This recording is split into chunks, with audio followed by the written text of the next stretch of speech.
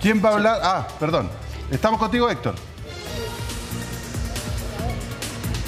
Ah, ahí está el fiscal Arias. Así es, el fiscal Emiliano Arias se va a referir a lo que fue el fin de esta audiencia. Está esperando que todos los medios estén enlazados para poder eh, enviar esta información, pero ya ha terminado. La, ahí va la audiencia. Sí, el día de hoy se realizó la ampliación de la detención para ser formalizado el día de mañana estos, estos tres imputados, tal cual como se expuso en la misma. Ahora, a ver, lo que quiero señalar desde ya es que lo que más nos interesa a nosotros como Fiscalía y también a las policías con que estamos trabajando es poder recuperar a la víctima sana y salvo. Digamos. Esa es nuestra principal prioridad.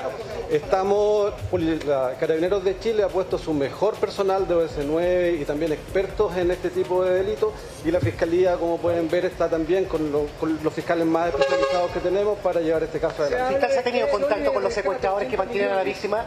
Fiscal, en ese sentido relación... se habla cierto, cierto de que se ha solicitado ya un rescate y se, ha, y se ha pedido 80 millones de pesos para liberar al empresario. A ver, cualquier antecedente de la investigación no se los puede dar y cuál es el fundamento. El fundamento claro y preciso, la protección de la víctima. En este caso estamos trabajando en eso, estamos ocupados en eso lo lamento no poder darle más antecedentes que los que se virtieron en audiencia. Ustedes saben que en general nosotros no ponemos limitación a la prensa, escucharon al inicio de la misma que ustedes estuvieran presentes para que fueran testigos de lo mismo, pero la seguridad de la víctima está sobre todo y en relación con eso no puedo dar más antecedentes. Pero hay contacto, con él, ¿Ha hablado la familia con el A ver, lo que les puedo decir en relación a esto es que el hecho es sumamente grave, no hay hechos similares o semejantes en relación a, lo, a este que está ocurriendo en la región. Por eso estamos con nuestra mejor gente. Lo que sí pido, y les ayudo también en poder realizar esta, esta petición a la comunidad de si tiene cualquier antecedente, por favor que lo entregue y se acerque a cualquier unidad policial, a cualquier fiscalía, se los vamos a recibir con la reserva de vida que nos apoye precisamente en esta búsqueda de rescatar sana y salva la víctima. ¿Los detenidos han entregado información respecto al resto de la banda? ¿Los detenidos han entregado información respecto a los restos? ¿Han colaborado con el Ministerio Público? Nada más le puedo señalar al respecto. Muchas gracias. Ahí está el fiscal Emiliano Arias. Vamos. Eh, Héctor, eh, ahí está siguiendo. Se ha desordenado bastante esto acá en eh, el juzgado de garantía, sin duda. hemos preguntado varias cosas en rigor y por cierto, el fiscal lo estamos siguiendo a ver si. No se deben a caer o romper las cosas. Sí. Vamos a hablar, estamos avanzando. Es difícil que, que entregue más antecedentes. Fiscal, ¿alguna prueba de vida de la víctima? ¿Se ha logrado conseguir alguna prueba de vida de la víctima? Confianza en la policía y en la fiscalía, estamos poniendo todo nuestro esfuerzo y vamos a ir avanzando. Como se fijan, ya mañana la formalización para ver más antecedentes. Muchas gracias. Sí, Héctor. Em, es que eh, es importante considerar que no va a entregar mayores antecedentes precisamente porque hay una investigación en fiscalía. Dentro del edificio la fiscalía no va a conversar más con nosotros el fiscal. No, si no va, no va a entrar más, no va a entregar más antecedentes. Tenemos esa información. Bueno, básicamente es delicado entregar antecedentes, Priscila, muy delicado entregar antecedentes, entendiendo de que se habla de que ya hay un contacto con los secuestradores, se habla además de que existe un se está pidiendo ya un rescate cuantioso, trasciende de que existe un monto ya solicitado por los secuestradores, por lo tanto son bemoles de esta investigación y por cierto, de alguna manera nos da cuenta de que hay contacto con la, en este caso con quienes eh, son los captores de este empresario y sin duda es un caso que está si la palabra en desarrollo es suficiente, creo que eh, no, porque finalmente hay mucho, mucho, mucho que analizar. De hecho, la misma Fiscalía indicó de inmediato, sin eh, mayor demora, de que específicamente no habían antecedentes suficientes, faltaban pericias del abocar a evidencia biológica, tanto en el sitio del suceso como en el vehículo recuperado, como en el caso de lo que son las declaraciones que entregan estos eh, delincuentes que fueron detenidos y que, por cierto, pueden pueden dar luces de que esto eh, pueda tener ya mayores antecedentes el día de mañana, porque de verdad que poco se sabe, pero al menos eh, hay una información que nos puede permitir eh, indicar de que, claro, hay contacto y que de alguna manera podría haber una prueba de vida respecto de lo que es este, este empresario secuestrado Priscila, José Luis. Es que probablemente hay, diligencias que no se van a dar a conocer por un tema de seguridad, porque aquí no, estamos hablando solo, como dice Héctor Safi, de una noticia en desarrollo. Aquí estamos hablando de un delito que está en proceso. Entonces, y, claramente también lo dijo ayer el fiscal, no hay hechos similares ocurridos en la región y probablemente en el país. Por eso es tan importante lo que nosotros estamos presenciando. Muy, muy complicado. ¿ah? Acá hay un trascendido, no está confirmado, por supuesto, no lo confirmó tampoco el fiscal área. De que hay un trascendido en algunos medios de comunicación de que hablan de que habrían pedido 80 millones de pesos por su rescate, pero hay un tema que no hay que dejarlo pasar por alto. El fiscal Arias le pide ayuda a la comunidad si es que tiene algún tipo de antecedente que se acerque a cualquier comisaría, cualquier policial o también de la fiscalía para entregar este antecedente. Eso es muy relevante. Eso yo lo puedo leer de varias maneras. Primero, de que no tenemos muchos antecedentes de donde no sabemos dónde está el caballero. Dónde está, en este caso, el empresario secuestrado, la víctima. También puede ser alguna idea del fiscal para distraer a los eventuales imputados mm. de, que, ya los tienen cercados. Puede ser, pero, pero evidentemente eh, da cuenta de que todo esto está en pleno desarrollo, y que eh, estamos lejos aún de, esperemos que no, espero equivocarme, pero uno podría suponer de que aún estamos lejos de la solución del problema principal, que es encontrar a la víctima sana y salva, que es lo que nos tiene que ocupar a todos. Eh, Héctor, eh, te quería preguntar, ¿cómo viste tú la audiencia? ¿Cómo viste a estos delincuentes? La audiencia fue bastante rápida, José Luis, no demoró más de 15 minutos entre que el fiscal presentó los hechos, se narró un poco lo que fue precisamente, por ejemplo, el video de la persecución que vimos, eh, lo que fue el flanqueo de las motocicletas, eh, finalmente la detención y recuperación de este vehículo y la detención de estos tres sujetos. ¿Cómo los vimos al ingresar? Bueno, parece que estábamos en vivo y alcanzamos a tener esa imagen cuando ingresan de un rostro bien parco, en realidad bastante serios, no se les veía muy ansiosos, pero claramente tenían eh, una actitud, entre comillas, eh, no indiferente, pero sí no, se les veía muy preocupados, la verdad. Y en lo que se refiere precisamente a lo que fue su interacción con el Ministerio Público, ya que se lo solicitó su domicilio, no dieron eh, una dirección específica más allá de lo que es la comuna en la que habitan. Nosotros ya sabíamos, teníamos ese antecedente de que uno es de San Bernardo, otro es de Maipú y otro es del el centro de Santiago, entendemos, por una dirección que dio, que es por el sector de Independencia, podría ser eh, en la comuna de Santiago. Pero por cierto, lo que en estos momentos eh, estamos eh, frente a esta situación en que ellos ya van a ser trasladados a la cárcel de alta seguridad dentro de próximos minutos. Va a hablar el defensor penal público en estos momentos. Por favor, vamos a escuchar. Abogado, si nos da su nombre, por favor. Luis Díaz Guajardo.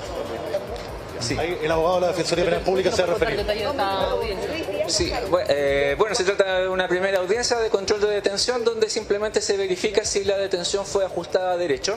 Eh, se decretó la ampliación de la, de, la, de la audiencia para realizar la audiencia de formalización de la investigación el día de mañana, aproximadamente a las diez y media de la mañana.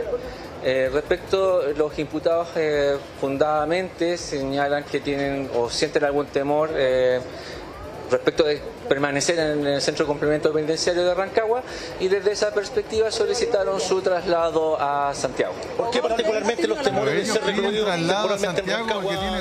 Eh, bueno, obviamente ellos me señalaron en la entrevista previa que efectivamente tenían temor en el Centro de Complemento Penitenciario de Rancagua, eh, por lo tanto por ello, por, su, por eh, resguardar su integridad física es que se solicitó el traslado a Santiago.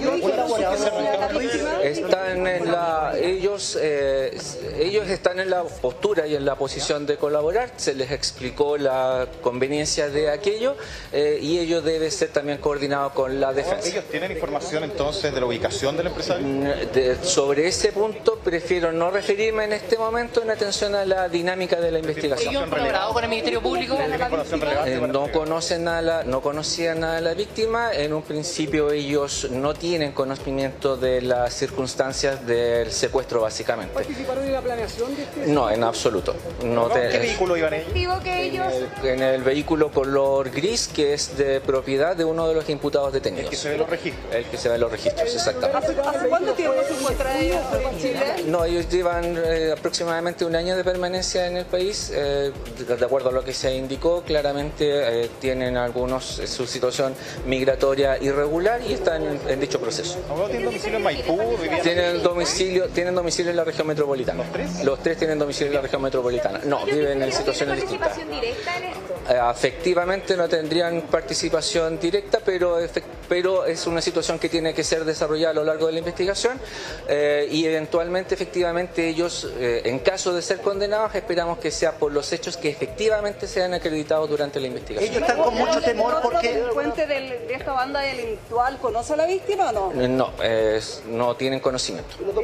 ellos están muy preocupados por su seguridad. Ellos están preocupados por su seguridad. ¿Por qué el alto poder de fuego que se le encontró en el vehículo incautado en... Eh, eh, no, a ver, sobre ese punto está señalado. Está, ¿Qué le preocupa tanto su seguridad acá en Rancagua? Porque en el centro de complemento de Rancagua existen detenidos o existen personas de nacionalidad venezolana. Entonces ellos tienen eh, preocupación por vincularse con estas personas. ¿Preocupación porque ellos van entregando información clave y relevante? No, necesariamente, sino que eso va a ser revelado posteriormente. Abogado, ¿usted tenía un run por algo anterior? ¿Qué, qué, se debía eso No, eso lo vamos a revisar en la carpeta investigativa. ¿Pero vinculado narcotráfico, mm, Lo vamos a revisar con la carpeta investigativa. Muchas gracias. Ahí está el defensor eh, penal público eh, entregando algunos antecedentes respecto de quiénes son, en este caso, los detenidos en este vehículo. Indica el defensor que no tienen relación con el secuestro, sino más bien, y espera que sean... Eh, a ver, lo que, es que son, cosas, son cosas distintas. Son, son, son, cosas... Son A ver, lo que pasa es que efectivamente eh, tiene su situación eh, migratoria irregular. Hay uno que tiene un run o canje penal, como se denomina coloquialmente. Respecto de los otros dos se solicitó esa figura. ¿Ellos van a estar colaborando? Ellos, eh, obviamente que nosotros tenemos la, y ellos tienen la intención de colaborar en tanto y en cuanto lo que realmente saben y lo que pueda aportar. Oye, bien inverosímil todo lo que nos dijo. Mira, nos planteamos más dudas que certeza, porque ¿cómo ellos no van a saber del secuestro? Primero. Además, ellos sienten temor en el centro penitenciario de Rancagua y prefirieron la cárcel de alta seguridad. ¿Será que en la cárcel de alta seguridad, no sé, como uno supone, tienen un... Módulos separados. Lo que pasa es que están en módulos especiales y en cárcel eh, sin, más reclusos en el mismo... Mira, eh, además el, uno del el vehículo este era propiedad de uno de los detenidos. y un detenido que además no está en situación irregular puede tener su, un vehículo a su nombre. Hay muchas, muchas dudas que quedan con esto, que las vamos a ir desglosando, las vamos intentando eh, responder. Vamos a hacer un breve corte, rápido. Mando a primera hora de esta mañana de eh, una noticia en desarrollo y un delito que está en proceso. Vamos a tomar contacto con Héctor Safie, que estuvo en la audiencia de control de detención de tres sujetos que estarían involucrados en el delito de secuestro de un empresario en Rancagua. Héctor. Hola Priscila, justamente lo último que tú indicas es lo que el defensor penal público dice que quienes fueron controlados por detención hoy día no tienen vinculación con el hecho.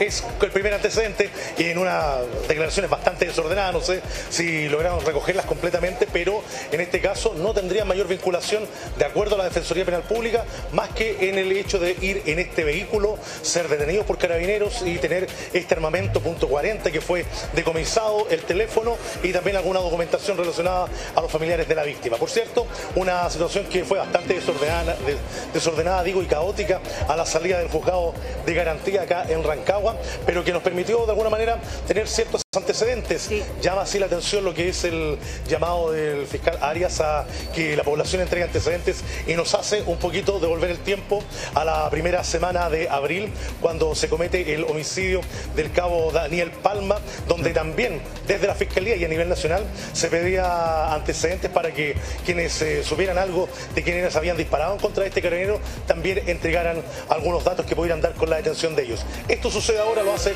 el fiscal Emiliano Arias, que ya está al interior de la, su oficina en la Fiscalía, pero que tampoco entregó muchos antecedentes, que por cierto serán de alguna manera relatados mañana en la audiencia que comenzará eso de las 10 de la mañana, Priscila José Luis. Sí, varias cosas que se dijeron en la salida tanto del fiscal Arias como también del defensor eh, público, defensor penal público de los imputados, eh, en este caso de los detenidos. Eh, a ver, lo primero, se pide ayuda a la comunidad. Y segundo, hay una pregunta que se hace ahí entre los medios de comunicación por un trascendido referente a que ya habría una petición de rescate por unos 80 millones de pesos. eso obviamente no fue ni confirmado, ni descartado, ni comentado por parte del fiscal. Lo que sí pudimos ver por el caso del defensor penal público es que los eh, detenidos pidieron traslado que no los pusieran en la cárcel de Rancagua porque hay miembros de la misma nacionalidad de otras bandas, presumiblemente, que podría afectar su seguridad y pidieron ser trasladados a la cárcel de alta seguridad de Santiago. ¿Ellos ya salieron de ahí? ¿Con destino a Santiago?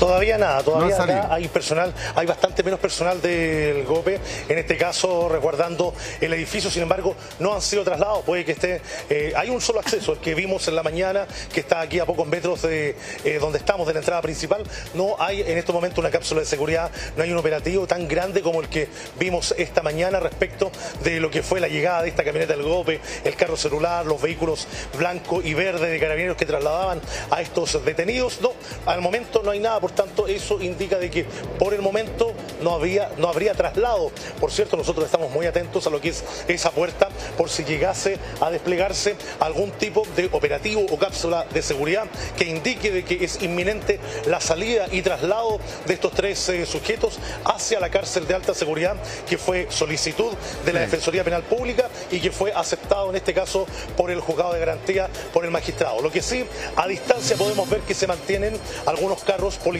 pero ese despliegue tan importante que hubo esta mañana no está realizándose en estos momentos. Hay personal territorial, hay algunos personal de control de orden público, pero esa situación que eh, por momentos se tornó algo tensa con la llegada de los carros, con el personal del GOPE que estaban eh, ataviados con todo lo que corresponde a la seguridad, chaleco, casco balístico, armamento largo, también todo ello, en estos momentos no se ve, lo que indica que por el momento no sería inminente la salida. Lo que sí, estos sujetos se mantienen acá.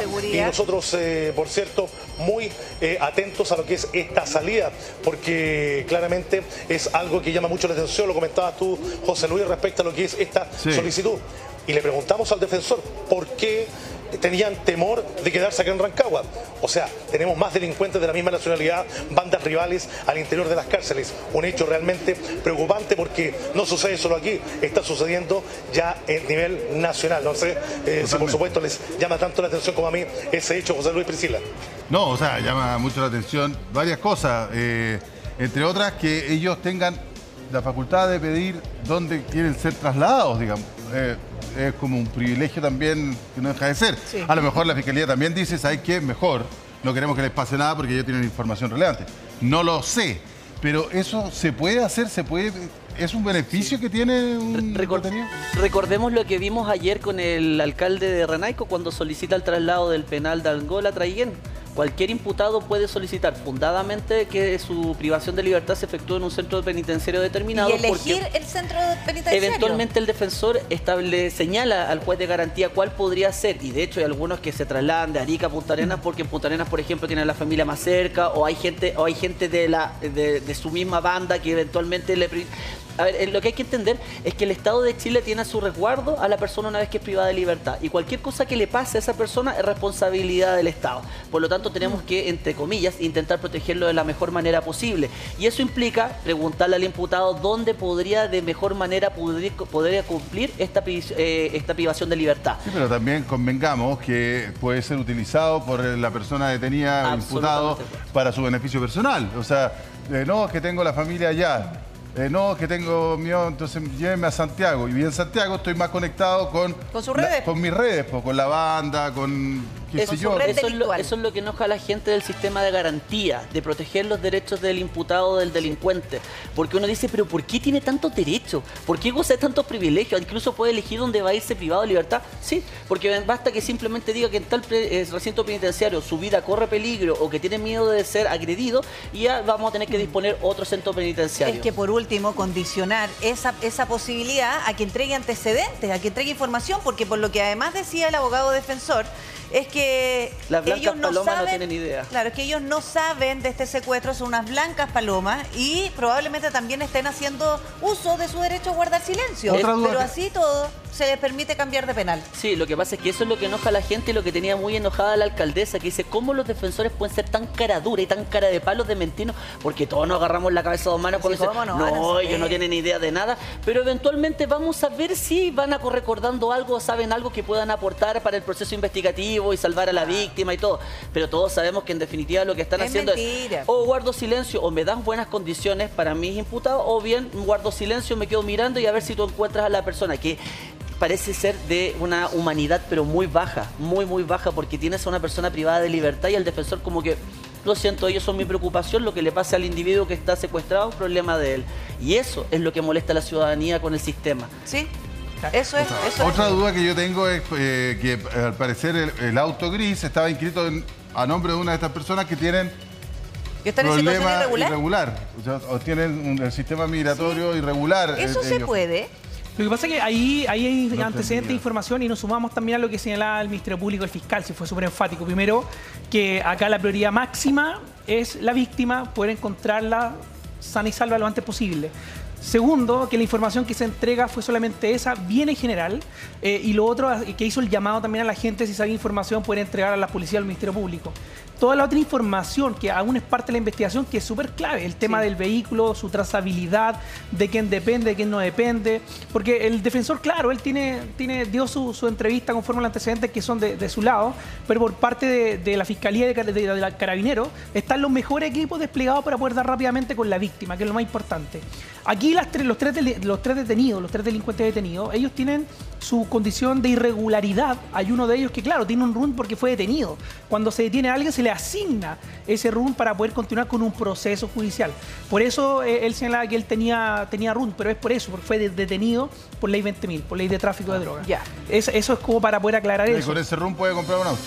Es que ahí, ahí el tema que, que eso es, es parte de, de la investigación. Y ahí nosotros obviamente que, que no, no podemos entrar más en detalle No, porque bien, puede tener una línea, pero con los antecedentes RUN que asignado. entregó con los antecedentes que entregó el defensor o sea si el auto es de uno de ellos supongo que uno de ellos tendrá run Eh, y si uno ata los cabos uno puede decir bueno esta persona cuando fue detenida por ley 20.000 se le asignó un run para tenerlo identificado y con ese run va y compra aprovecha también y va y compra un auto y lo inscribe a su nombre Esa es la locura del sistema O que uno no puede entender. fantástico, digamos. Exactamente, o sea, uno detiene a un delincuente para poder someterlo a nuestro proceso penal. Tenemos que asignarle un RUN y el delincuente sin quererlo se beneficia de todo lo que puede hacer con ese RUN. En definitiva, es como si se hubiese regularizado.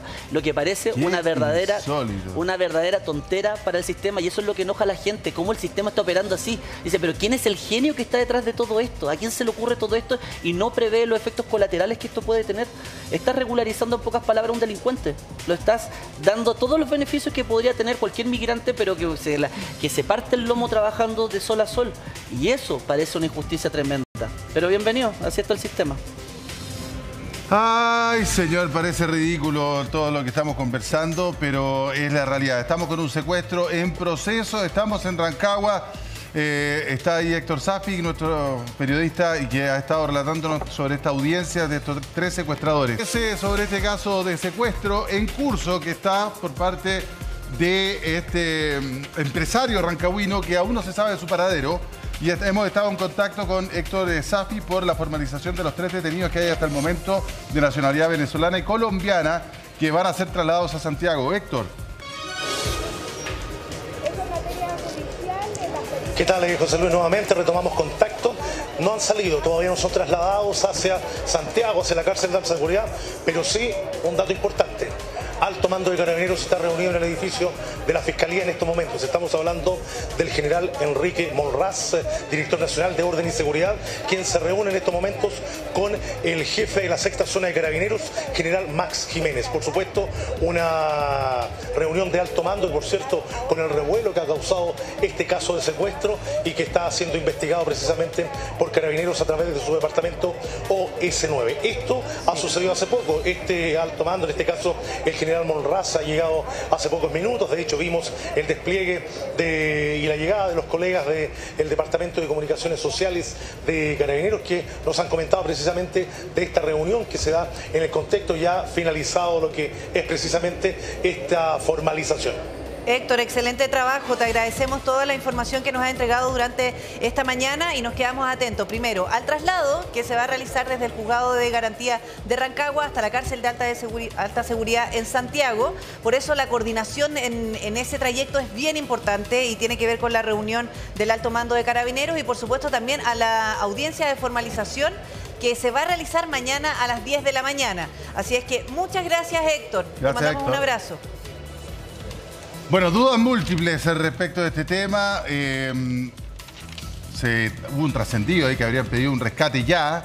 No lo tenemos obviamente claro ni confirmado. Eh, pidieron este traslado. El auto era, uno de, era de uno de ellos, pero están irregulares en el país. Muchos, muchos cabos que tendrán que irse atando en este tema que es extraordinariamente grave. Una banda muy organizada, lo hemos ido desglosando toda la mañana, muy organizada secuestra a un empresario en Rancagua, generando, por supuesto, un eh, delito gravísimo de esos que no queríamos que, aparecieran en nuestro país. Para ponerlo en términos simples, ¿esto qué significa? Que mucha gente se va a asustar y va a empezar a contratar guardaespaldas, como vemos en países como México, como Colombia, para trasladar a los hijos al colegio, para irse al trabajo.